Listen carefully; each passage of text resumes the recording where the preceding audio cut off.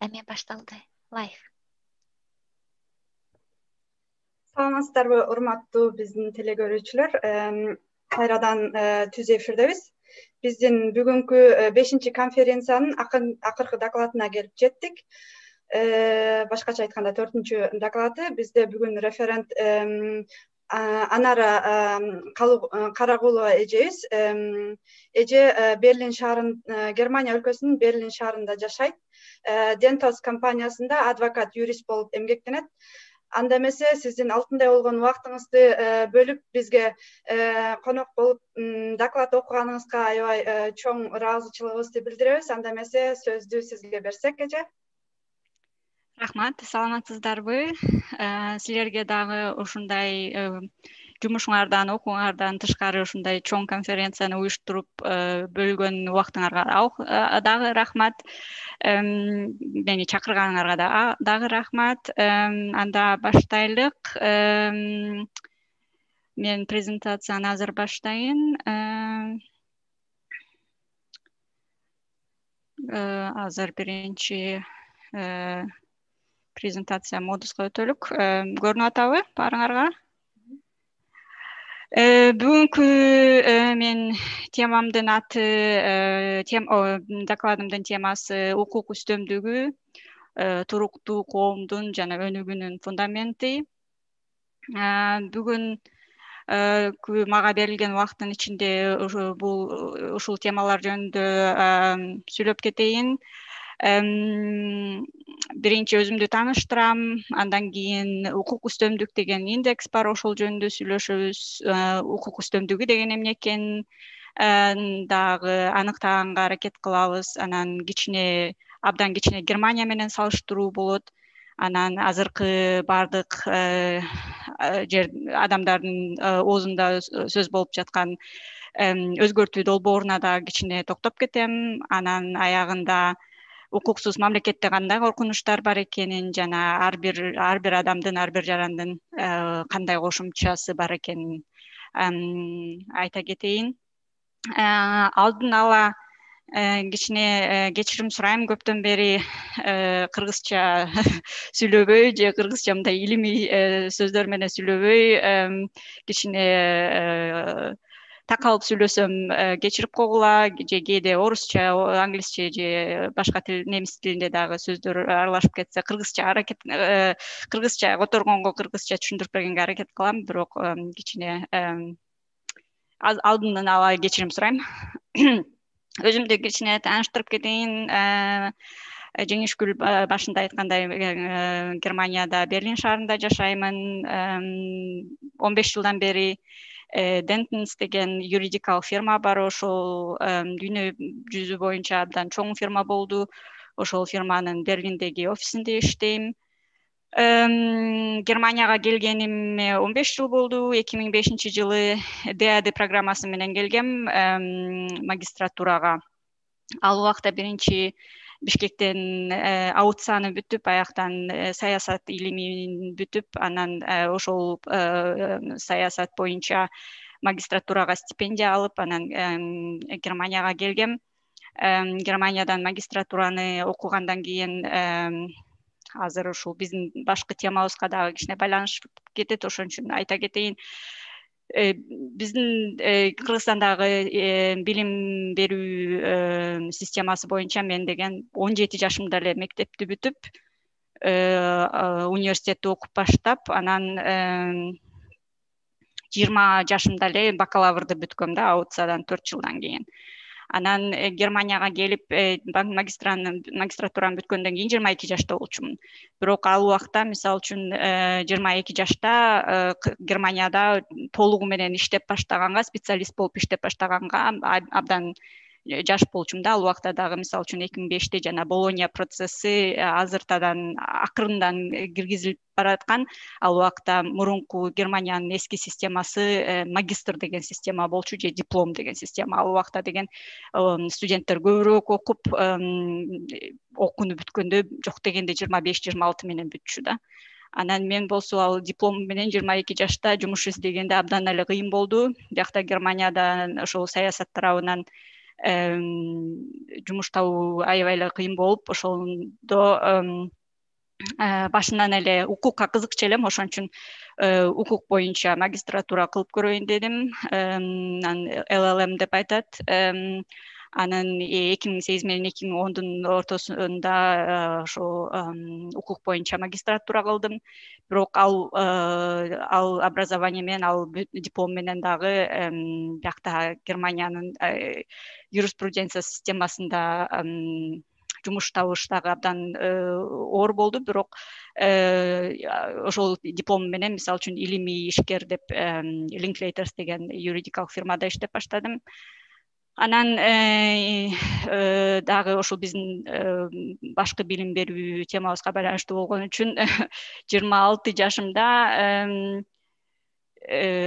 германияда жашагым келет германияда укук тарабында иштегим келет эмне кылам деп туруп башынан укук юриспруденцияны башынан баштап окуганга чечтим. Эки миң он биринчи жылы ошол гумбальд университетинде окуп баштап биринчи гос экзамен анан экинчи гос экзаменди берип эми германиянын э, юристимин э, германиянын ошо юрист э, системасы юристтердин системасы дагы европа боюнча болония системасынан алынган. Демек бакалавр деген жок бакалавр магистратура деген жок. Биякта гос экзамен мурунку эски гос экзамен калынып калган да германия деген ошо европейский союздун ичинде э, биз медицина менен э, юриспруденцияны бул болония процессине киргизбейбиз өзүнчө алып чыгабыз деп өзүнчө калтырган. Ал экзаменди бериш абдан оор э, отуз пайызы берген адамдардын отуз пайызы кулайт. Жок деген он эле пайыздары жакшы деген предикат деген бааны алышат анан бирок ал э, германияда юрист болуп иштеп баштагандан кийин юрист юристтин квалификациясын алсаң фоль юрист деп коюшат. Биринчи гос экзамен экинчи гос экзаменди бергенден кийин. Бирок баардык жерде иштесе болот да. Адвокат болуп да иштесе болот сот болуп да иштесе болот прокурор да болуп иштесе болот же Э, министрликтерге барса болот же компанияларга болсо болот мисалы үчүн sap же paypal же башка дагы компанияларга дагы юрист болуп иштесе болот. Ошонун көп артыкчылыктары бар да. Анан европейский союздун ичинде дагы мисалы үчүн комиссия европейский комиссияда дагы немистердин юристтердин саны көп. Алар аябай э, жакшы жогору баалашат өзү ошол биринчи тема менен тааныштырганым. Эми бүгүнкү темага өтөлүк. Укук үстөмдүк. Укук үстөмдүк бул орусча верховенство права англисче rule of law дейт немисче принцип э, деп айтат дүйнө жүзү боюнча бир э, проект бар экен. World justice project деген э, дүйнөлүк акыйкат э, проекти деген. Ушул проект жыл сайын дүйнөдөгү жүз жыйырма сегиз өлкөнү карап аябай көп данныйларды чогултуп даталарды чогултуп суроо суроолорду беришип элдерге жарандарга компанияларга организацияларга суроолорду беришип алардын ошол э, жашаган өлкөдө ошол иштеген өлкөдө э, укуктун үстөмдүгүн кандай кабыл алышат кандай билишет деген индекс чыгарышат экен.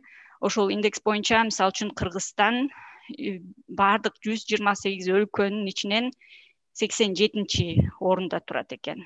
Демек аябай эле алыс жагында да арт жагында анан э, снг менен салыштырганда он биринчи орунда экен. Анан мына э, биякта дагы сол жагында мисалы үчүн бул жерде сол жагында э, критерийлер көрүнүп турат. Кайсыл критерийлер менен ушул индекс тин немеси оруну ар бир өлкөнүн кайсыл критерийлер боюнча карап чыгат тургандары мисалы үчүн э, салыштырганда э, бул азыр снг менен эле салыштырганда эң э, жалпы орунду он биринчи орунда экен. Анан бул критерийлер менен дагы өзүнчө ар бирин карап чыкса болот экен. Мисалы үчүн коррупциянын жоктугу дегенди караганда эң акыркы орунда экен кыргызстан. Он төртүнчү орунда снг менен. Эң биринчи орунда мисалы үчүн грузия турат грузия ушул биздин баардык мурунку советтер союзундагы өлкөлөргө салыштырганда аябай жакшы өнүгүп келатат. Анан ушул грузиядан көп биз мисалы алсак болот деген оюм бар. Бирок бул ал э, темага анча тиешелүү эмес анан э, эмне үчүн бул э, укук үстөмдүк керек бизге же бул укук үстөмдүк эмне үчүн мындай ооба эмне үчүн керек деп сурасак бул укук үстөмдүк ар бир коомдун Э, жакшы өнүккөнүнө жакшы жашаганына ар бир адам жакшы жашаганына негиз болуп эсептелет экен. э, мисалы үчүн биякта мен бүгүн немеге кыргызчага которгонго жетишпей калдым жаңы эле коштум бул ушул ушул жерин э, которуп кетейин Uh, it's a foundation for communities of justice, opportunity, and peace, underpinning development, accountable government, respect for fundamental rights. rights. Research shows that the rule of law correlates to higher economic growth, greater peace, less inequality, improved health outcomes, and more education. Бул изилдөөлөрдүн натыйжасында булар мындай тыянакка келишиптир. Укук үстөмдүгү мисалы үчүн экономиканын өнүгүшүнө негиз экен жардам аябай маанилүү экен. Тынчтыкка алып келет экен. Коомдун ичиндеги кантип айтса болот бири бири менен мисалы үчүн бай менен э, кедейлердин теңсиздикке э, э, көбүрөөк теңсиздикке алып келет. Ал эмес ден соолуктун чыңалышына алып келет жана көбүрөөк билимге мисалы көбүрөөк билим алганга алып келет экен. Анан бул укук үстөмдүк дагы мисалы үчүн өкмөттү жоопкерчиликке кылганга жоопкерчиликке кармаганга жана адамдардын ар бир негизги укуктарына эркиндиктерине э, абдан э, негизи болуп эсептелет экен. Бул э, элементтерге дагы токтолуп кетем эмкисинде мисалы үчүн биякта деген бул графиктен укук үстөмдүк Э, э, өнүгүшү канчалык укук үстөмдүк көп болсо ошончолук өлкөлөр өнүккөн экен. Мына германия бул э, германия дания акш америка кошмо штаттары бул мисалы үчүн астыңкы жерлерде турат. Демек укук үстөмдүк менен экономикалык өнүккөндүн түзмө түз байланышы бар экен бул укук үстөмдүк деген эмне? Э, эмне деген кантип түшүнсө болот бул деген так э, илим болбогондон кийин мисалы үчүн физика математика болбогондон кийин мындай бир формуласы жок. Э, же аябай таптак формуласы жок. Ошондуктан ар бир бул укук үстөмдүк деген ар бир коомго жараша болот. Ар бир мамлекеттин башкаруу системасына жараша болот ар бир э, коомдун ошо өзүнүн элдин түшүнүгүнө жараша болот бирок баардык могу өнүккөн өлкөлөрдү карай келсек аларда э, мисалы үчүн антоним аркылуу аныктаганга аракет кылсак бул укуктук мамлекеттин укук үстөмдүктүн э, карама каршысы. Бул негизсиз мамлекет болуп эсептелет? Э, орусчасы произвольное государство деп коет немисче англисче э, демек бул кимдин мисалы үчүн эгер сотко барсам э, ал закон закондун мыйзамдын э, негизинде эмес ал адамдын көңүлүнө жараша мисалы үчүн чечим кабыл алса ал ошону негизсиз соттук чечим же негизсиз мамлекет деп эсептелет мында деле мисалы үчүн президент болгон бир адам ой мен бүгүн башым ооруп атат мен бүгүн налогту жыйырма процентке көтөрөм деп чечсе демек ошол деген негизсиз негизсиз мамлекет. Анан өнүккөн өлкөлөрдү дагы карай келгенде ушул укук үстөмдүк менен демократиялык башкаруу бири бири менен тыгыз байланышканы көрүнөт экен. Ошондуктан э, бул демократиялык коомдо бул негизги төрт э, критерийлерди укук үстөмдүгүн аныктаганга э, негиз кылып алышат экен. Бул биринчи критерий бийлик бутактардын бутактарынын тең салмактуулугу э, бийлик бутактарын кайсы бийлик бутактары бар? Бул мыйзам чыгаруучу бийлик бутагы бар мыйзам аткаруучу жана соттор кээде дагы прессаны дагы формалдуу түрдө эмес төртүнчү бийлик бутак деп кээ бир жерде дагы аталып калат. Бирок э, конституциянын негизинде э, бул үч э, бийлик бутактары бар. Муну англисче checks and balances деп коет. Немисче gewaltenteilung андан кийин экинчи критерий бул деген эркин шайлоолор үчүнчү көз карансыз соттор анан эркин пресса. Э, булардын мындай немеси жок э, приоритети жок. Бул биринчи бул туруш керек экинчи бул туруш керек деген бул ушул төрт критерий баардыгы чогуу каралынып э, укук үстөмдүктү аныктайт экен.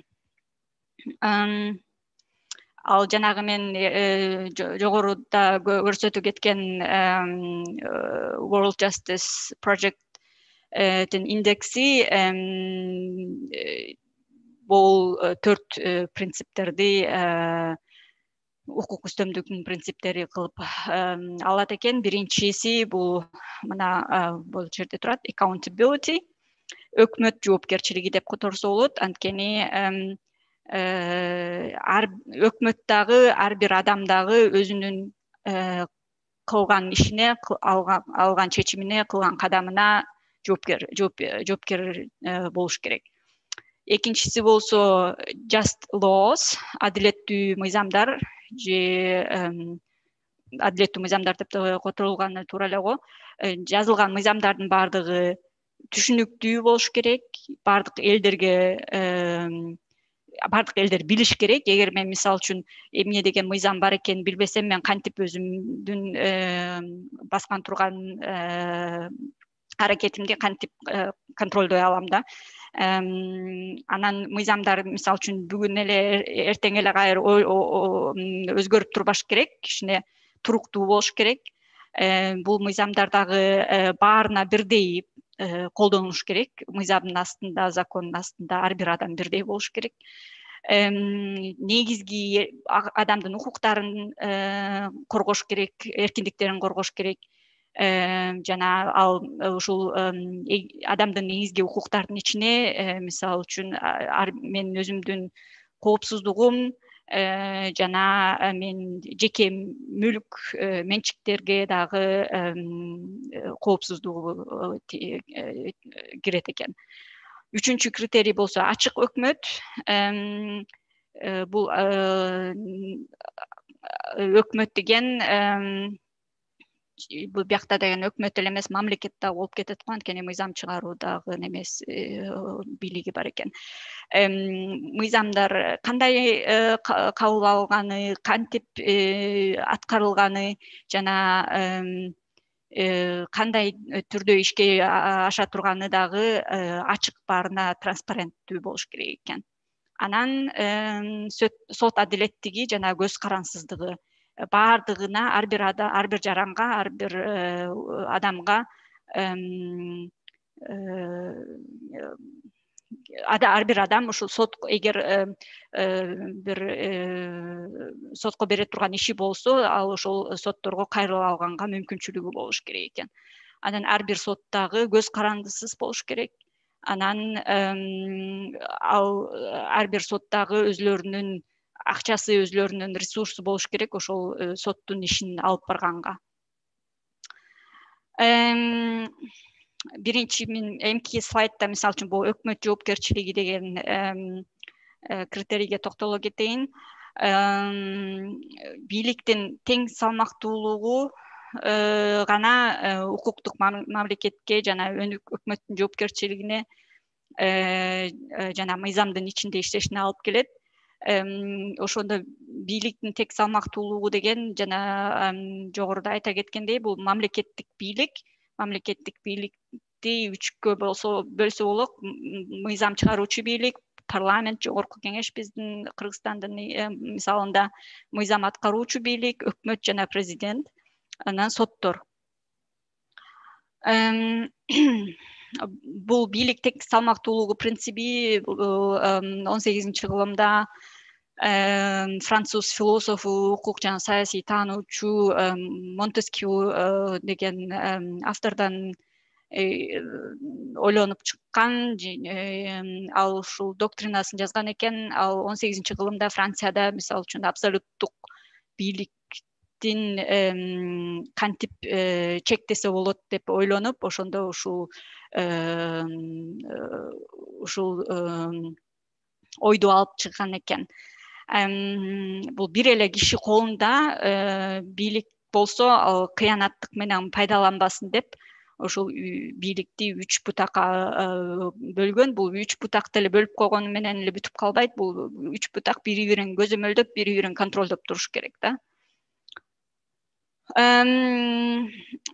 Азыркы ушуну дагы аябай басым жасап айта кетейин дедим эле. Азыркы мисалы үчүн кыргызстанда болуп жаткан дискуссияны байкасам э, кээде ой болуп кетет. Э, президенттик башкаруу болсо эле э, башкача аякта укуктун үстөмдүгү кереги жок а парламенттик башкаруу болсо ошол парламенттик башкарууда эле укук үстөмдүгү кереги бар деп.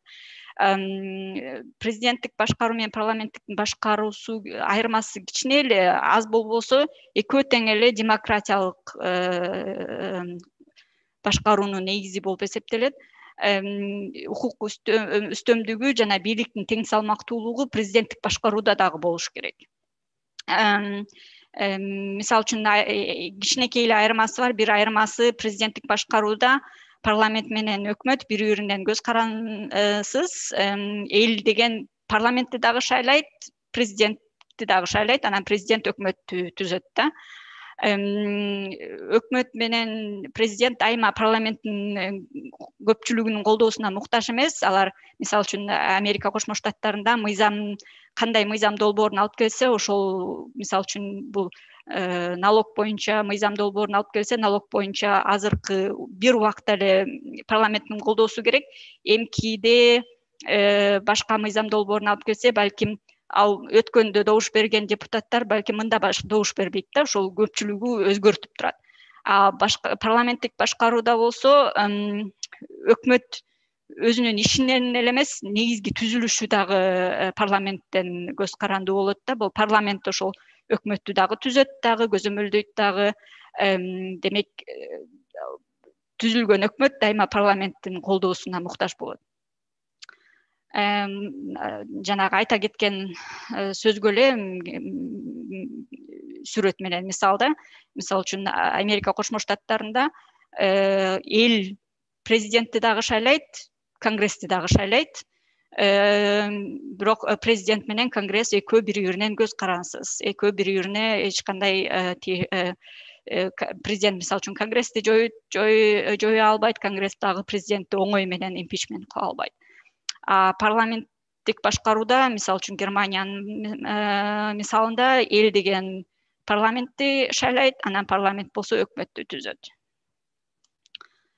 Жана айта кеткендей президенттик э, башкаруусунда дагы э, бийлик тең салмактуулугу абдан абдан маанилүү жана ошол президенттик башкарууда дагы бийлик тең салмактуулугу бар мына американы америка кошмо штатын карай кетсек мисалы үчүн бул мыйзам чыгаруучу орган бул мыйзам аткаруучу орган бул болсо сот э, бийлиги. Биякта элдер мисалы үчүн конгресстин э, биринчи ылдыйкы палатасын шайлайт анан жогорку палатасын шайлайт. Эл дагы президентти шайлайт. Анан мисалы үчүн конгресс болсо президентти контролдоп турат президент дагы кээ бир э, э, укуктары бар. Мисалы үчүн кээ бир закондорго вито койсо болот. Бирок президент мисалы үчүн конгрессти жое албайт. Конгресс дагы президентти оңой менен импичмент кыла албайт. Президент болсо биякта америка кошмо штаттарынын кичине өзгөчөлүгү дагы Э, дайындайт. Бирок бул э, алар деген америка кошмо штаттарында соттор деген өмүр бою дайындалган үчүн бул деген жылда эле боло бербейт да. Бул э, ар бир билбейм канча бир жылда араң бир убак бир эле мүмкүнчүлүк келет. Ошон үчүн биякта деле көп көп немеси жок көп контролдой албайт да президент сотторду Э, жана азыр эле айта кеткен сөздөрдү дагы биякта жазыптырмын ал эми болсо бул парламенттик э, башкаруу бул германиянын э, германиянын мисалында бул германияга дагы өзгөчөсү кирип кетет. Анткени бул германия федеративдүүлүк өлкө федеративдүүлүк республика. Ошон үчүн дагы бияктагы жерлер жер деп коюшат. Ленда земля алар дагы э, э, бияка көп чоң роль ойношот ошон үчүн кичине дагы өзгөчөлүктөр бар биякта. Биякта мисалы үчүн эл парламентти шайлайт. Бундестагты. э, анан бул бундестагдын ичинен анан бул бундесрат болсо ошол жанагы он алты администрациялык аймактардын өкүлдөрү алар чогуу болсо э, чогулуп бул бундесферзамлунг деген бар. Э, ошол деген э, өкмөт өлкөнүн башчысын президентти шайлайт. Бирок бул президент германияда жөнөкөй символдук эле ролу бар. Өлкөнү бул бундесканцлер башкарат өкмөттү. Ал өкмөт болсо ошо бундесканцлерден турат фрау меркель анан министрлерден турат. Э, демек ушул министрлер жанагы жана бундесканцлер дайыма бундестагтан колдоо керек. Бирок бундестагта дагы мисалы үчүн парламентте оппозиция бар. Оппозициянын дагы ролу абдан чоң. Ушул бундестаг парламент менен анан бул бундесрат кошулуп сотторду дагы э, эң жогорку сотторду алышат э, дайындашат да. А жергиликтүү соттор болсо жергиликтүү жерлерден э, дайындалат биякта дагы ушул көрүнүп турат. Мисалы үчүн э, аябай тең бийликтин тең салмактуулугу бар экенин анткени ар бир биякта жогорку конституциялык сот бар. Бул конституциялык соттун ролу абдан чоң. Ал конституциялык сот ушул өкмөттүн дагы ишин анан э, парламенттин дагы мыйзамдарын э, контролдоп турат. Бул конституцияга негизиндеби негизинде эмеспи ошентип германиянын мисалына кетейин. Э, германияда Э, баш мыйзамы деп аталат.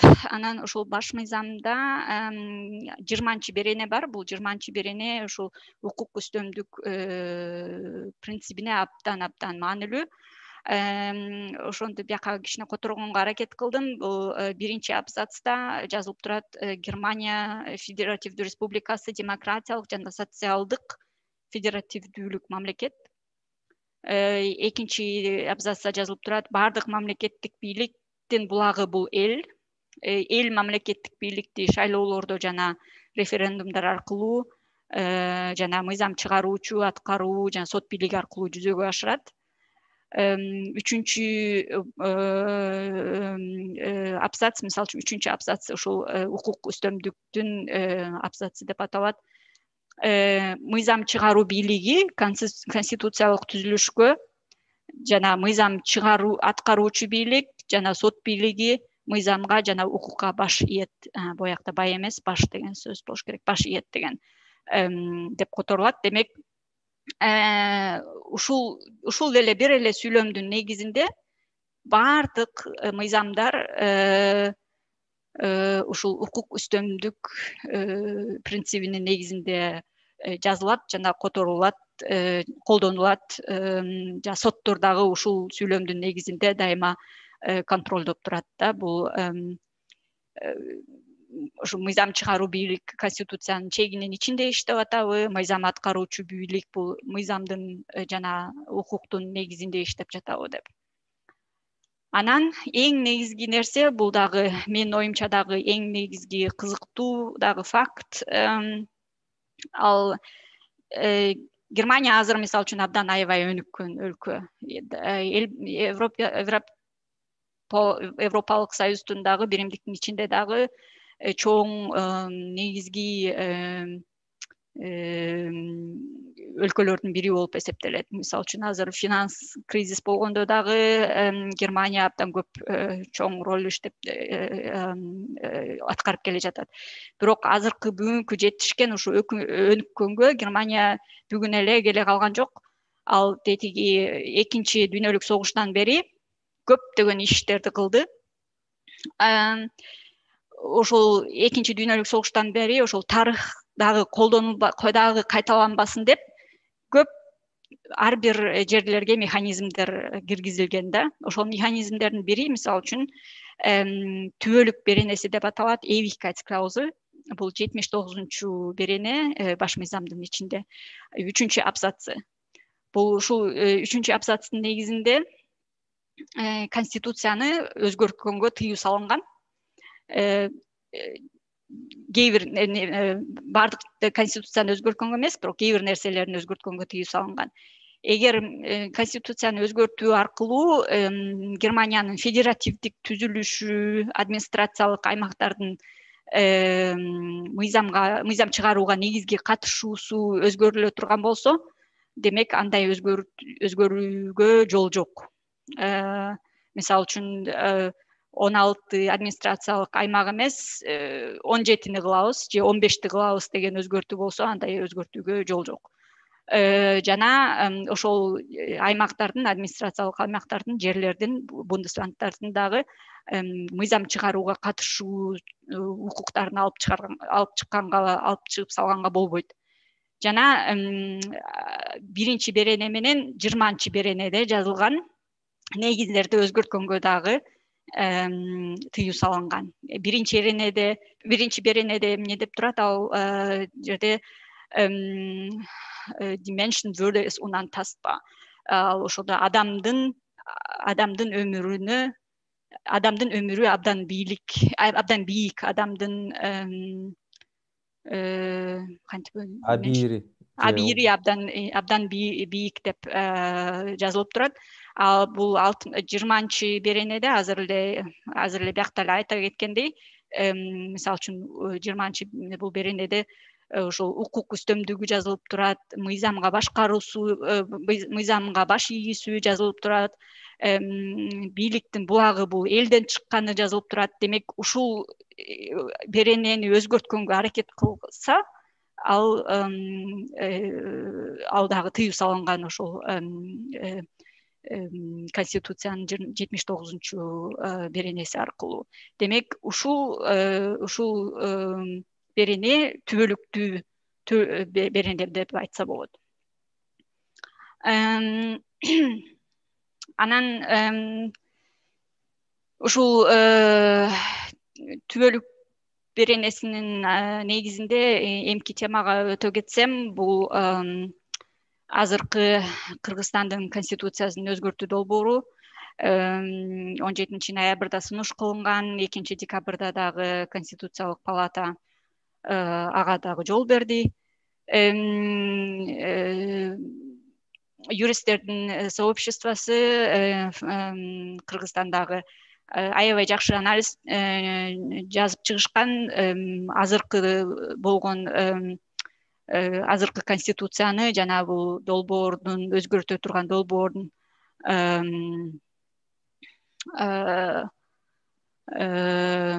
салыштырып. Ушул өзгөртүү долбоорунда мисалы үчүн укук үстөмдүк деген сөз э, баардык жерде өчүрүлүп калыптыр.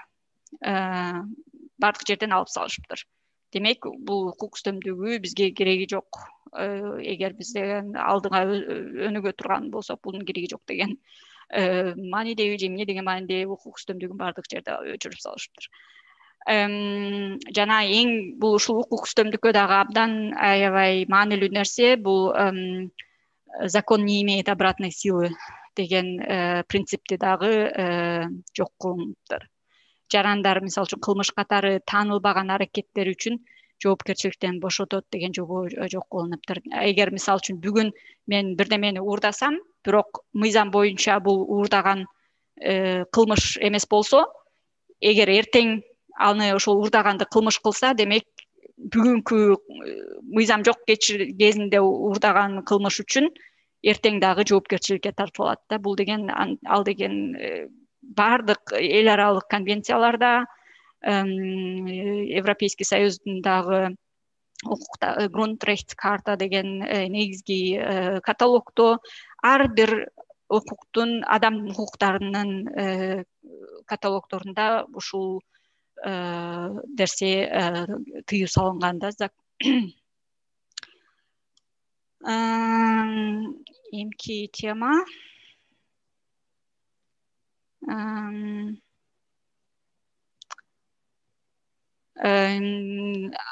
Мен ошол сообщество юристовдун кыргызстандагы анализин карап чыкканда көп өзгөртүүлөр киргизиптир. Ошол өзгөртүүлөрдүн бирөөсү мисалы үчүн Э, кыргыз республикасынын э, суверенитети бул кыргыз территориясы эли жөнүндө бул кыргыз республика өзү эле гана чече алат деген э, беренени дагы жок жок кылышыптыр. Чек араны өзгөртүү тыюусу дагы жоюлуптур демек бир эле киши кыргызстандын аймагын Э, сатканга же бекер бергенге укук алат экен. Бул албетте баарыбызга эми түшүнүктүү эле болуп турса керек. Демек эгер буга деген жол берсек эртең балким э, кыргызстаныбыз жок болуп калат. Азыркы жаңы ушул долбоордун негизин карай чыксак талмак бийлик тең салмактуулуу деген такыр эле жок болот экен. Анткени мисалы үчүн президент органында президент мыйзам чыгарганга дагы укук алыптыр эми мыйзам э, долбоорун сунуш кылганга дагы укук алыптыр э, өкмөттү да башкарат экен сотторду да дайындайт экен. Демек баардык бийликтердин бутактары чогулуп келип эле бир органдын колуна келип калыптыр. Мыйзам аткаруучу бийлик өкмөттүн дагы ролу аябай эле чоңоюптур президент мисалы үчүн коопсуздук органдарды да башкарат экен. Демек ал э, ушул э, коопсуздук органдары менен эле э, баардык өзүнүн бийлигин кыянаттык катары колдоно берсе болот экен. Мыйзам чыгаруу органы бийлиги жогорку кеңештин мисалы үчүн аябай эле кичирейип ролу такыр эле жокко эсептеп айтсак болот. Соттордун дагы аябай эле көз каранды экен жаңы долбоор боюнча.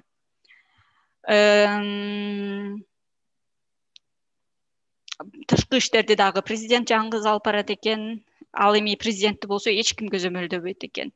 Импичментти кагаз түрүндө бар экен теория боюнча. Бирок ал импичментке ал орган ой комиссияга ким кирет экен? Конституциялык сот кирет экен ген прокуратура кирет экен жана жогорку кеңештен бир комиссия кирет экен бирок конституциялык сотту дагы э, президент даярдайт экен дайындайт экен ген прокуратураны дагы э, президент дайындайт экен. Демек бул импичмент э, жөн эле кагаз түрүндө эле жазылган сөздөр. Аны эч качан ишке ашыра алса болбойт жогорку кеңештин дагы шайлаа жогорку кеңешке шайлана турган принципти дагы азыркы пропорция э, принцибинде эмес мажоритардык принципке өткөрүлүптүр. Демек бир эле аймактан бир эле киши э, катыша алат. Азыркы учурда мисалы үчүн ар кандай ар түрдүү партиялар бар коомдогу ар түрдүү кызыкчылыктарды э, жогорку кеңеште алып барган алар такыр эле каралбай калат экен. Мисалы үчүн конституциялык сотту дагы президент дайындайт демек ал көз каранды.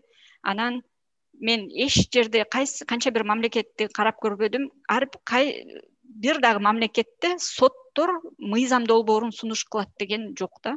Соттор деген дайыма мыйзамды карап талдап өкмөттөрдүн ишин жана мыйзам чыгаруучу органдардын ишин контролдош керек. А сот деген мыйзам долбоорун сунуш кылганга эч кандай тиешеси жок. А бул бизде болсо конституциялык сот дагы мыйзам долбоорун сунуш кылганга укукка алат экен. Демек ал сот бийлик болбой эле мыйзам чыгаруучу э, бийликке дагы кошулуп кетип атат. Э, акырына келип калдык укуксуз мамлекетте кандай коркунучтар бар? Э, жана жогоруда эле айта кеттим укук үстөмдүгү эмне үчүн абдан э, маанилүү деп укук үстөмдүк менен? Э, экономикалык өнүккөндүн түзмө түз байланышы бар экенин көрдүк. Мисалы үчүн мен бул германияда эгер сотко бара турган болсом закондорду билем закондорду карайм аякта э, мыйзамдар жазылып турат эмне процесстер жазылып турат баардыгы жазылып турат. Демек эгер мен сотко барсам менин э, укуктарым кандай экенин анан ал сот кандай чечим кабыл алаарын алдын ала биле алам. Жок дегенде эми албетте ал кээ бир көп жерлерде интерпретация керек болот көп жерлерде далилдеш керек э, бирок мыйзамдын негизинде мен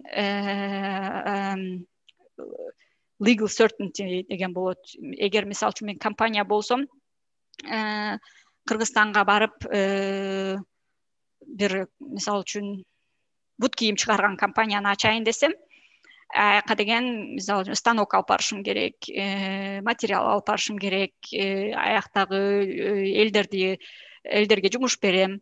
Анан бирок эгер ошентип иштеп баштасам эртең эле келип өкмөт деген мисалы үчүн ал компанияны менден тартып алса э, же мага жөндөн жөн эле көп аябай чоң налог салса мен ошону сотко бере аламбы ошого э, өкмөттүн кылган ишине сотко бере аламбы э, же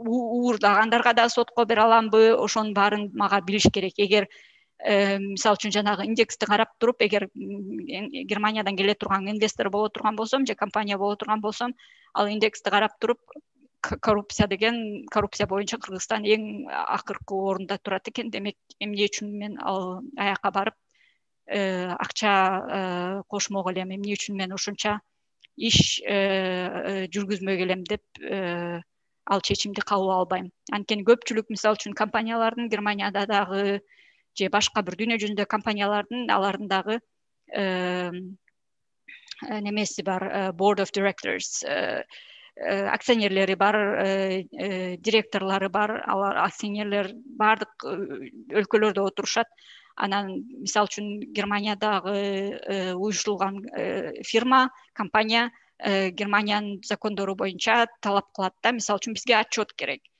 кыргызстанда төлөгөн э, айлыгыңдын баары туурабы налогторду туура төлөп атасыңбы? Баардыгы закон боюнча болуш керек ошол отчетту бергиле деп а эгер мисалы үчүн э, кыргызстандан андай отчет бере ала турган болсом демек эмки чогулушта бул компания чечим кабыл алышы мүмкүн. Эмнеге эмне үчүн ал өлкөгө бармак элек? Бизге көп пайдадан мурун көп түйшүк келип атат деп. Ошон үчүн эң эң негизги ушул экономикалык жактан карасак болот инвестиция келбей калат. Эгер ага эч коопсуздук жок болсо. Э, жана экинчи коркунучтардын бири мисалы үчүн жарандар өзүлөрүнүн укуктарына жана эркиндиктерине ээ болбосо мамлекетке ишеним кетет. Ал дагы эле азыр деле бар. Мисалы үчүн кыргызстанда эгер көпчүлүгү сотко ишенбейт милицияга ишенбейт алар баардыгы эле ой акча менен эле кимдин акчасы болсо ошону менен эле э, бүтөт деген. Эгер мамлекетке ишенбесе демек ал мамлекеттин дагы өкмөттүн дагы авторитети жоголат демек э, налог э, чогултканга дагы эч кандай көп аракет кылбайт. Анан ошол налогдор мисалы үчүн германияда мектептерге кетилет больницаларга ооруканаларга кетирилет жол курганга кетирилет. Демек ошо коомдун жашай турган инфраструктурасына керектүү акча жок да. Ал эгер мисалы үчүн ар бир адам мамлекетке ишенип өзүнүн э, билиминин илиминин өзүнүн күчү менен тапкан э, акчасын э, алып анан ошол тапкан акчаман макул бир сегиз процентин балким он процентин мен өлкөгө бергенге макулмун. Анткени ал өлкө менин жашап аткан айран ана чөйрөмө э, шарт түзүп берип атат. Э, садик түзүп садик бала бакча куруп берип атат мектеп куруп берип атат жол куруп берип атат оорукана куруп берип атат. Ошон үчүн мен ушул мамлекетти колдогонго макулмун. э, деген түшүнүк түшүнүккө жетпей калабыз да. Эгер ал аябай эле тим эле экстримин алсак фейл стейт деген дагы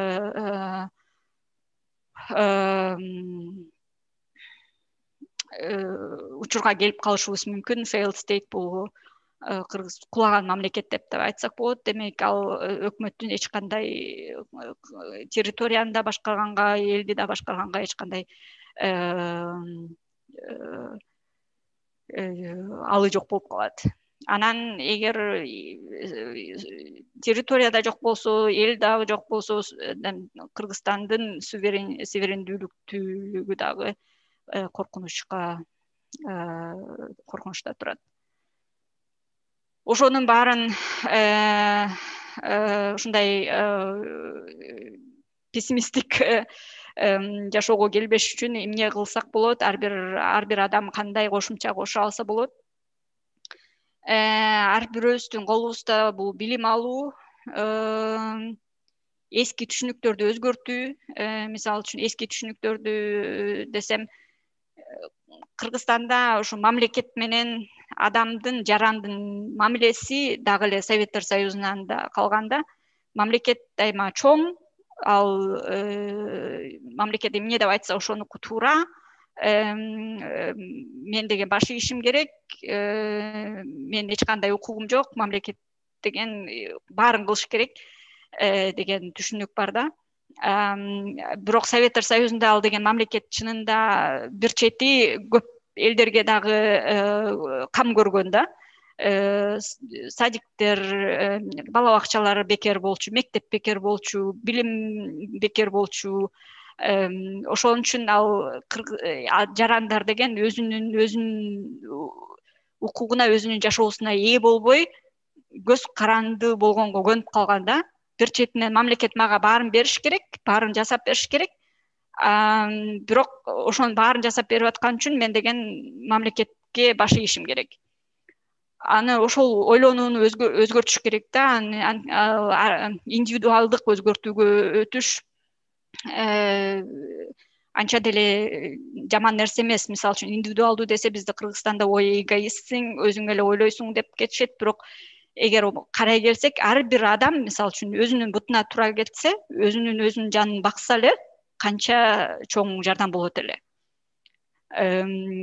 Башка мисалы үчүн э, мамлекеттен же бирөөлөрдөн көз каранды болбой ар бир адам өзүнүн жашоосун э, жакшы жашап кеткен абалда болсо демек бүт мамлекет боюнча өнүгөт да анан ошол э, түшүнүктү өзгөрткөнгө э, негизги нерсе ошо ар ким өзүнүн укуктарын жана эркиндиктерин билиш керек. Жана мамлекеттен дагы өзүнүн укуктарын талап кылыш керек. Мисалы үчүн мен өзүмдүн оюмду эркин айтканга укугум бар. Мен өзүмдүн жашоомду кандай жашаганыма укугум бар. Мен билим алганга дагы укугум бар. Жана э, мен өзүмдүн мүлкүмө менчигиме дагы менин укугум бар. Эч ким келип мамлекет келип менден менчигимди алганга эч кандай укугу жок. Ошон үчүн эгер мамлекет мага налог э, менден налог талап кылса демек ал ошол талап кылганга дайыма мыйзамдык негиз болуш керек. Мен ошол налог төлөп аткан үчүн менин налогумдун негизинде ошо депутаттар акча алып аткан үчүн өкмөт өзүнүн ишин алып барып аткан үчүн демек алар мага жоопкерчилик болуш керек отчет болуш керек. Анан албетте бул аябай эле капитализм сыяктуу болуп көрүнүшү мүмкүн. Акш америка кошмо штаттарындай бирок германиядан германиянын мисалын алсак ушундай түшүнүк менен социалдык мамлекет дагы бири бири менен кошсо болот да. Же мисалы үчүн скандинавиянын өлкөлөрүн карасак швеция дания норвегия алар дагы аябай эле өнүккөн аябай эркин бирок ошол эле учурда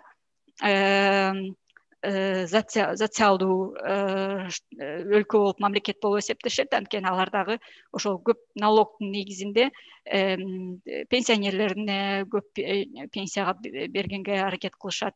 Иштеп ишин жоготуп калгандарга декретке чыккандарга Э, жана башка э, коомдун башка э, ушул өзүнүн жанын өзү бага албаган адамдарга жардам бергенге аракет кылышат. Ошого дагы ошону дагы талап кылганга абдан эле мүмкүн. Жана бизде кыргызстанда дагы аябай көп байкалбаган нерсе маалыматты өзүнүн өзүмдүн данныйларымды маалыматтарымды Э, мисалы үчүн аябай эле ойлонбой эле бере беришет да. Э, мамлекет жанагы канча деген э, нерсени канча деген данныйларды чогултушат да. Ошол мен мисалы үчүн паспортумдун номери сага эмне кереги бар деп ойлонбой туруп эле баарын эле бере беришет. Ошондой эле ошонун эле негизинде мисалы үчүн германияда информациonsfreiheitsgesetz деген бар.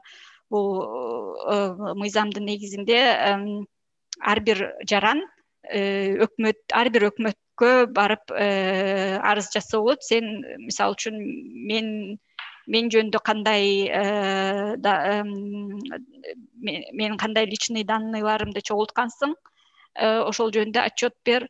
Жана мисалы үчүн бул өкмөт сен бул жерде бул тарапта мындай иш кылып атасың ошол жөнүндө дагы отчет бер деп э, деген укуктары бар.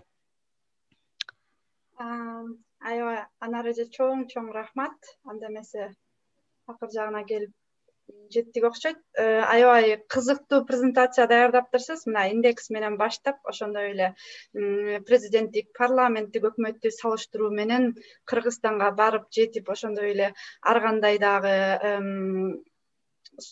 ар кандай нерселерди да сунуштап өттүңүз. Мына мисалы үчүн германия менен салыштыра турган болсок айтып өттүңүз э азыр жөнөкөй эле адамдар өз укуктарын билет мындай жөнөкөй жашоодо дагы э, жумуш ордунда дагы укуктарын билет дедиңиз. А кыргызстанда мыйзамдар жыл сайын чыгып турат бирок ал болсо калкка э, толугу менен жетпей калат да ошол учурда ошо калктын ошо мыйзамдардын чыгып жатканына кызыкпагандыгыбы же болбосо ошол мыйзамдар болсо тиги ошо карапайым калкка эмнеге жетпей атат ошонун көйгөйлөрү кандай?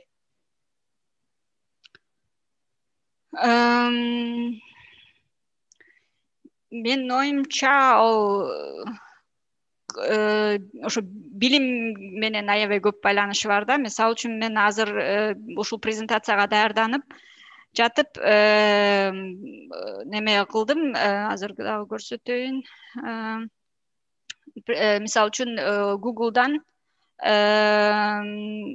көрүнүп атабы же көрүнбөй калдыбы азыр хосту жок көрүнө элек анар эже кайра көрүнө элек шер кылсаңар азыр анда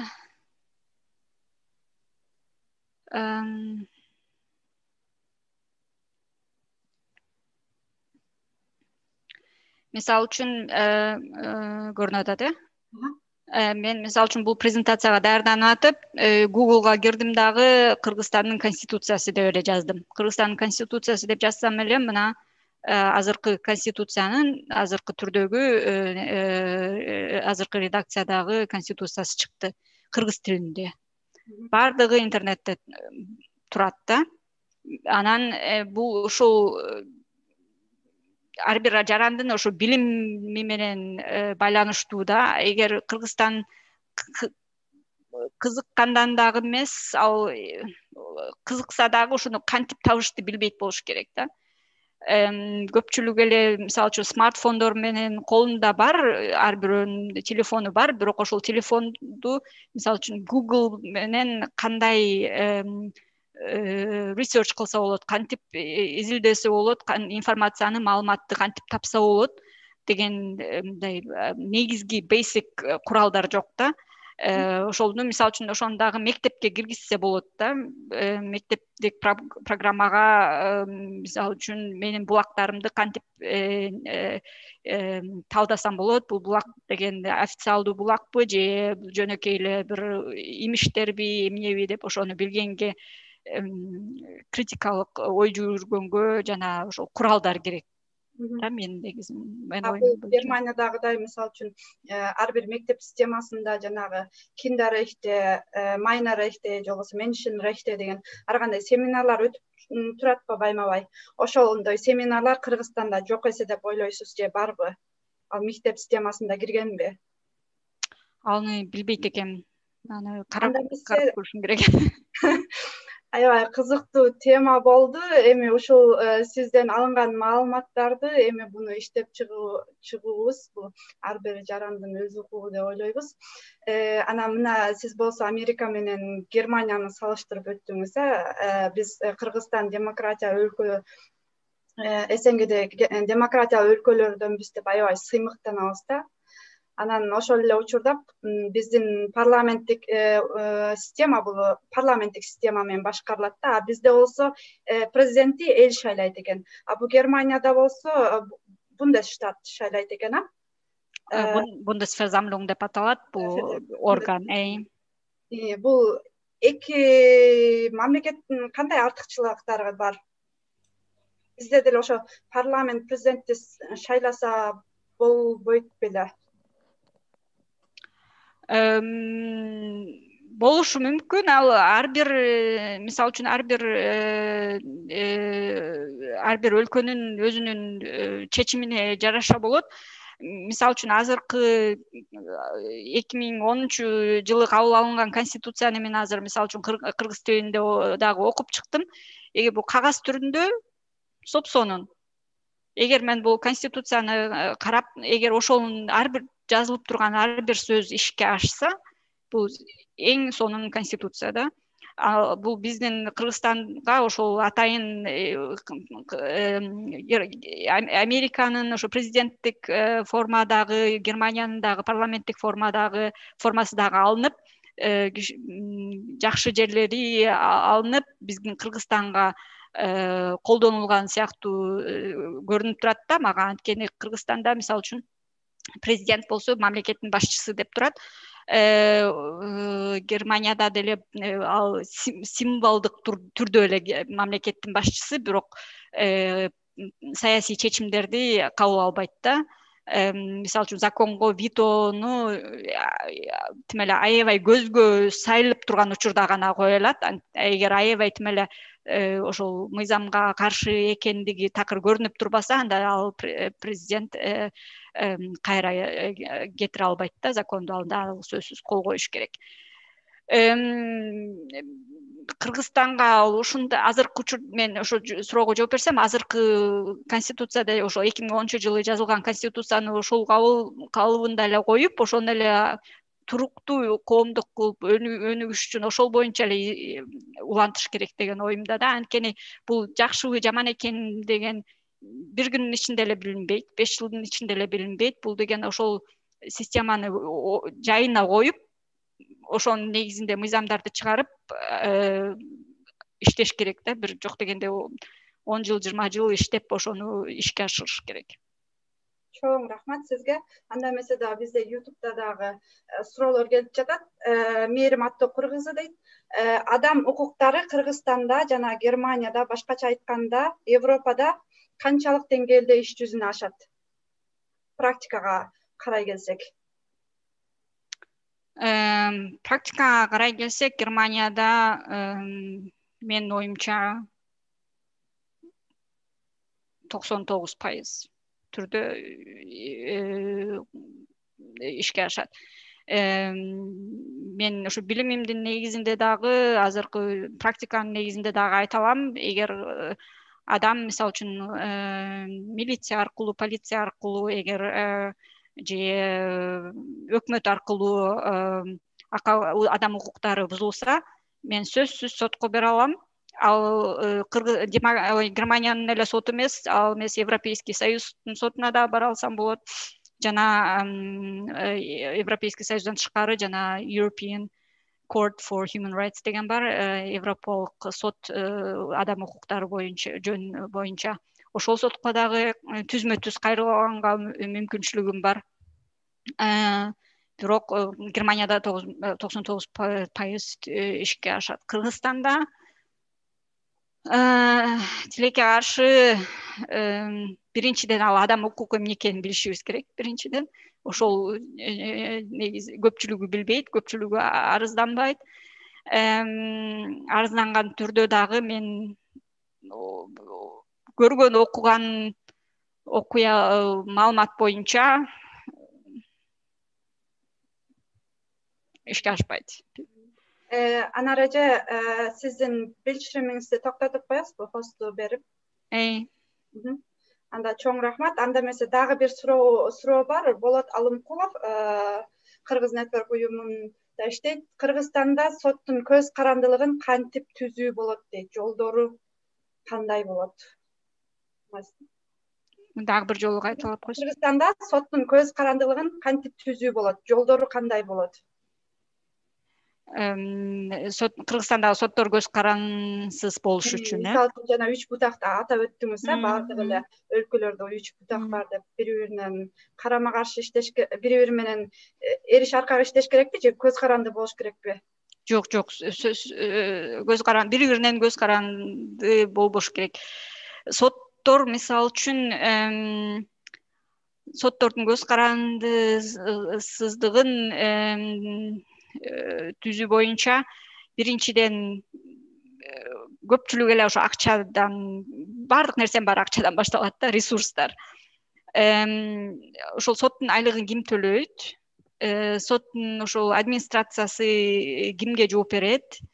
Ал каякта отурат? Кайсыл администрация боюнча кайсы деңгээлде отурат? Мисалы үчүн анан мыйзам түрүндө. Мисалы германияда сотторго э, өзүнүн мыйзамы бар. Алар мисалы үчүн э, жергиликтүү соттор да биз жогорку сотторду айткан жокпуз. Жергиликтүү соттор ар бир э, федеративдүү аймак мисалы үчүн берлинде берлиндин юстиция министрлиги сенаты ошол закон ой сотторду кабыл алышат дайындап кабыл алышат. Бирок ошол сотторду кабыл алганга чейин ал мен жана башында айта кеткендей сот болуш үчүн тим эле жок дегенде жети жыл э, кыйналыш керек. Анан ал немени дипломду сатып ала албайсың бааң жакшы болуш керек. Ошондо араң э, татыктуу ошол соттун ишине татыктуу болгон адистерди гана алышат анан э, юстициялык министрлиги болгону менен ал аткаруу мыйзамына кирип кетип атпайбы. Бирок ал э, бир аткаруу биримине кирип кетсе дагы алардын э, баскан турганы соттор аркылуу көзөмөлдөнүп турат. Анан ошол соттордун өзүнүн мыйзамы бар рихтерлихе унапенихкайт ошол көз карандысыздыгы ошол сот кандай чечим кабыл алса аны эч ким башка соттордон башка аны эч ким контролдой албайт да.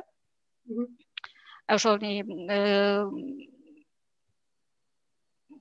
кыргызстан мен тилекке каршы жергиликтүү соттор кантип негизделерин билбейм.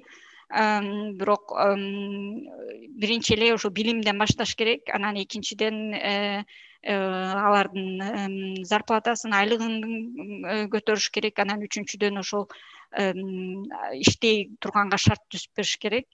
Анан алардын сотторду ошо дайындай турган э, комиссия көз карандысыз комиссия болуш керек да. Аябай чоң ыраазычылыгыбызды билдиребиз. Тилекке каршы дагы убакыт келип жетти. Э, суроону сурай берсек аябай э, көптөй болуп сезилип атат аны дагы балким кийинчерээк дагы сурайттырбыз. Э, анда эмесе биздин мына бүгүн болсо акыркы төртүнчү э, докладыбыздын дагы убактысы бүттү андан кийин онлайн талкууга өтөбүз. Анда эмесе акыркы суроону сизге берсем эже анара карагулова эже? Сиз жаштарга эмнелерди айтат элеңиз эгер балким бирөө ушул тармакта окуп билим алам дей турган болсо сиз эл аралык эл аралык укук коргоону окугансызбы жок эл аралык укук коргоо эмес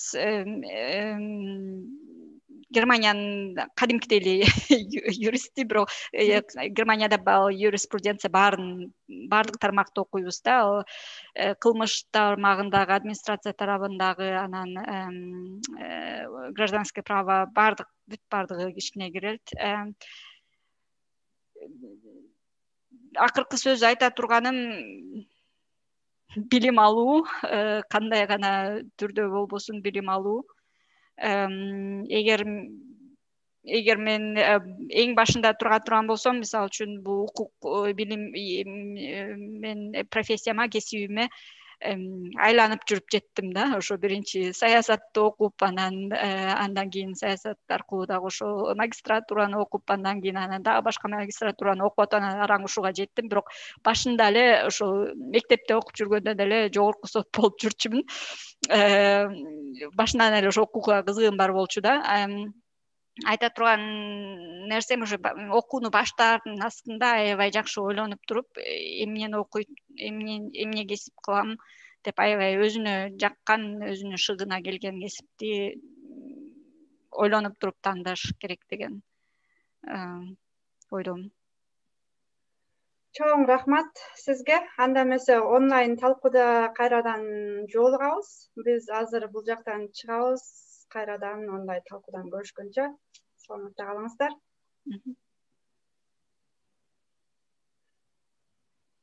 Биз менен болуңуздар